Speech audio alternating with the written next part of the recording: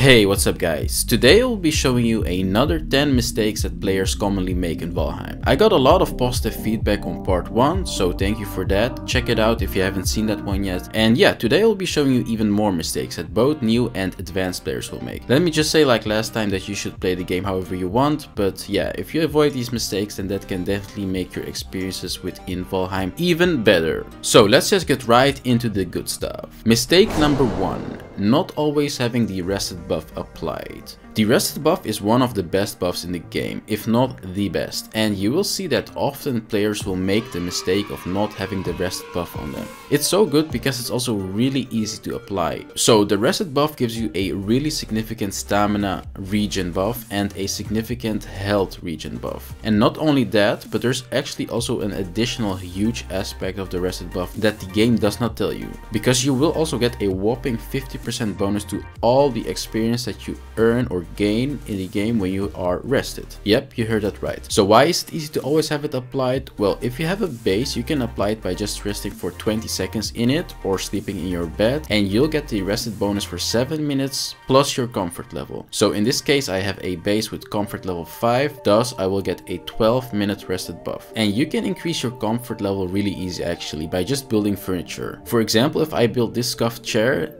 then it will add two more levels to my comfort. So what happens if you aren't in or anywhere near a base? Well, don't worry, you can always apply the rest above. Just build a campfire. Campfire requires 2 wood and 5 stone. In other words, it requires basically nothing. Build the campfire, rest for 20 seconds and boom, you'll have the rest buff here as well. If you want the rest buff to last a little longer while you're on the road, then find yourself a cave and drop a campfire in there and you will have a higher comfort level here from being sheltered and thus your rested buff will also apply for a longer duration. So yeah, get rested guys, it's important. Mistake number two, Destroying maypoles. What is that? Have you ever seen this structure while playing Valheim? No or not yet? Well good news, you are part of the majority of the player base. This structure is called a maypole and is actually super rare, but you can definitely have it in your world or on your server. A mistake that is made often is that players do not know what this is and will either just skip it or even destroy it. Well, when you destroy it, it's gone for good and you won't get anything from it, nor can you ever rebuild it again. The maypole gives you an extra comfort level,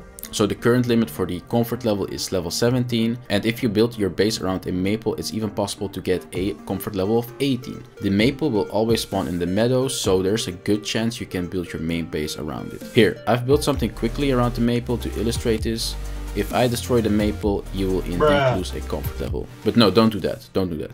The maypole is also aesthetically a really badass structure in my opinion, and due to its rarity, you can definitely flex with it on everyone if you have it on your server. Yeah boy! Mistake number 3, not marking things on the map. Marking things on your map is so useful because you'll always have an idea of what you can find at any given spot you already explored.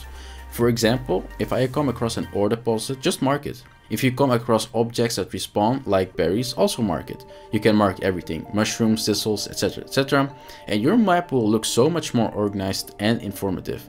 You can even use abbreviations to make this process even more efficient. If I'm marking blueberries, I'll use BB instead, for example. If I'm marking raspberries, I'll use RB. And you can make this more detailed as well by, for example, putting the number of bushes that are at that particular spawn. Like here, I have three bushes, so I'll, I'll write down RB and then a 3. And this way I'll know exactly what this particular spawn will give me in the future. And finally, you can also do this with portals, of course. If I'm naming a portal at my base, then just mark the other side of the portal on the map as well. Now I'll always know where this portal will bring me exactly. And having your own Google Maps, but then in Valheim costs practically no time or effort. And you'll always have a great idea of what your world looks like and if you want to find something in particular, you know exactly where to go. Mistake number 4. Leaving your portals and other important structures unfenced or unprotected. Everything you build in the game can be attacked by monsters, whether it's your base or a portal half the world away from your base. If you get raided then your unfenced portals will be number uno on the troll's destruction list.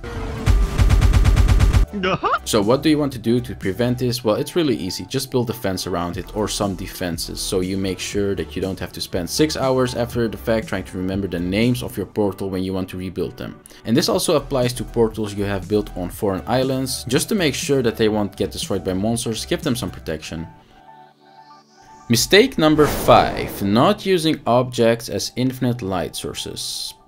So when you build a light source in your base or near your base, like the torch for example, you will always have to refuel it every time it goes out. And let's be honest, ain't nobody got time for that. That's a thing of the past after this tip. Well, kind of, because a common mistake is that players do not use some of the objects in the game as infinite light sources, whether it's for practical reasons or just aesthetics. For example, the yellow mushroom, it gives a nice and cool yellowish light. It will give light forever and caves are full of yellow mushrooms, so it's also really easy to obtain them. You can make some nice designs with these mushrooms. For example, something like this, a lit up backyard, essentially. And a lot of other objects also produce light. For example, the dragon eggs. These things are huge, but also have a really good looking aesthetic in my opinion. And I really like the lighting effect of the, of the dragon eggs. Other items include the meats, like the uh, the ones that give you the uh, poison and frost resistance. And if you're really desperate, then you can even use your swamp key. I'm just kidding, I'm just kidding. The swamp key actually has a really cool effect as well and is a pretty strong light source with the uh, light spreading in a pretty unique way actually. My personal favorite though is definitely the Surtling trophy that you sometimes get from killing Surtlings because the light it gives is actually quite strong and is definitely more than just a dim light. You can definitely use them as a substitute for torches for example. And again, it looks really cool. And if you want to know, other items that give light are the uh, stone golem trophies. And if you're still in the very very early game, you can also use uh, grey dwarf trophies, even though they have a uh, very minimal light effect. Mistake number 6. Not being subscribed to Nizar GG. I'm just kidding guys, but no seriously do it. It's just one click. Let's go.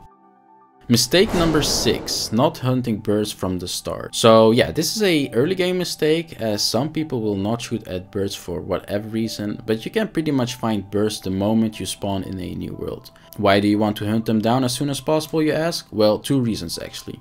You'll start increasing your in-game bow skill really quickly, as well as understanding how you personally have to shoot with the bow and how you need to aim, as birds are pretty small creatures, so that will definitely test your aiming and uh, shooting skills. And eventually you'll be a pro at it and 360 no scope then them biatches like a pro. But the other reason, and maybe even the more important reason, is that birds drop feathers, which is a really useful item that you will use from the early game all the way to the late game as every single arrow after the wood arrow actually requires them when you want to craft them. So definitely try to stack on feathers. Mistake number 7. Thinking you can't put a cart in a Karve. So the Karve is a really good ship for the Bronze Age, but it can be a bit lacking if you want to transport a lot of ore or anything else as it only has 4 storage slots. So the mistake is that you settle for these four storage slots because you think you can't possibly get any more slots with the Karve. Well, you can actually do something to increase your storage and that is put a cart in your Karve and increase storage that way. You can't put a cart in your Karve the normal way, so you have to take a little detour, but it's quite easy. Just build a wall, then build a floor on it in a 90 degree fashion like this. The floor needs to be above the, above the Karve and then put a cart on this floor piece and if needed reposition the Karve a bit so it's perfectly beneath the cart then remove the floor and voila like magic your cart will fall in your Karve. If you have a dock built on your map then this will be even faster. So after you have the cart in your Karve, do your thing and when you're finished with your task and you're loaded with ore and want to return to your main base, you can try to get the cart of the, uh, of the ship by either using it normally or what I personally like to do is just destroy the card and then the game will spawn the storage of the card in boxes like this. And you can really easily move these boxes around, basically like a soccer ball. Get the boxes on the coast and if you afterwards still want a card to move around, just build it again and then put the materials from the boxes into the new card. And there it is, you just traveled more stuff than the Karve actually allows you by itself. Oh, by the way, don't fill up the entire card as it will be more difficult to travel with it due to its weights. Just fill it for halfway or something like this to make your life easier, which is plenty of storage anyways. Mistake number 8. Not digging around ore deposits. Now, in my previous video, I showed you how deep ore can extend below the surface and that it's a mistake to prematurely stop your mining activities is when you don't excavate the surroundings of an ore deposit. If you dig out the perimeter of an ore deposit, you will pretty much get a huge block of ore. And now you will exactly know in what directions you have to mine as well as the depth of the node you're trying to mine.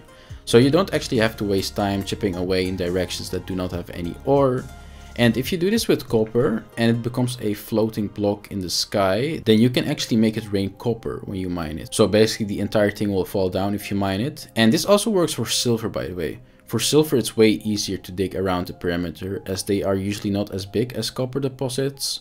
But since silver is too hard, you won't let it actually rain, but you will still have a good idea of how the deposit is generated, so you don't have to mine in directions where no silver ore can be found. Also, a uh, little bonus tip, if you don't want to be bothered by grey dwarfs when you're mining copper, just build a fence or put some campfires around you as they are scared of fire, the little pussies. Mistake number 9, being reluctant with using or building outposts. Now many players think that you should return to your base every time you mine some ore or have explored for a bit. However, sometimes it can definitely be more efficient when you just use or build an outpost. For example, if you use an outpost that is already there far from your home, just build a bed with a little roof and a campfire, make sure there are no enemies around you and you can skip the night that is yeah filled with danger by sleeping in this bed and getting that nice rested buff. Another example is when you're exploring, you're again far away from your home base, but you just found this incredible mountain with loads and loads of silver. You can actually just build a temporary base here, nothing too fancy and it doesn't have to look good whatsoever. Again, place a workbench, a campfire and a bed and you have yourself a base.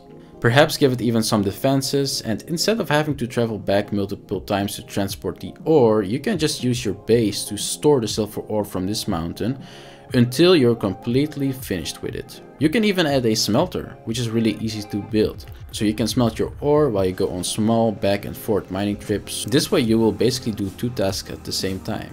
And if you want to go a little further, then you can also just upgrade your gear on the go for example, if you build a forge, and in the case of silver is especially useful as you can for example make the cape that will give you uh, frost resistance so you don't have to use any meats anymore. So definitely consider making outposts here and there. Mistake number 10. Playing on a seed that you hate. Well, this mistake sounds obvious, right? A lot of players will stick with their seed as the sense of progression made on that seed can make them unwilling to leave the seat. It's something like a sunk cost fallacy. However, in Valheim you can transport anything, meaning you can break down your entire base and just transport it to a better seat if you really hate your seat. Now there are a lot of amazing seats out there. I even made two videos about perfect seats that you can use if you want to swap over to a seat that's actually really nice to play on. Or the opposite, if you are bored of your seat, you can also play on a more challenging seat. I also made a video about that and I will put all the links in the description if you're searching for a particular seed. So in my opinion, don't stick to your seed just because the game randomly generated for you and you have played on it for the past 40 hours or something like that. And a final tip is to check out the Valheim map tool. You can insert any seed name here and with or without spoilers check out if the seed contains something specific that you have in mind, like for instance a maypole. This way you will have some sort of an idea of the seed you're going to play on. So yeah guys, that was it for this video. I hope you enjoyed and I want to thank all of my viewers and subscribers that left uh, suggestions on my previous video. I used a lot of your comments in this video for sure. So definitely keep doing that. And if you know more mistakes players make, then yeah, definitely just leave a comment and I'll use it for the next time. If you enjoyed the video, then please leave a like and don't forget to subscribe. Those two things help out a lot. And yeah, I'll see you guys next time. Bye.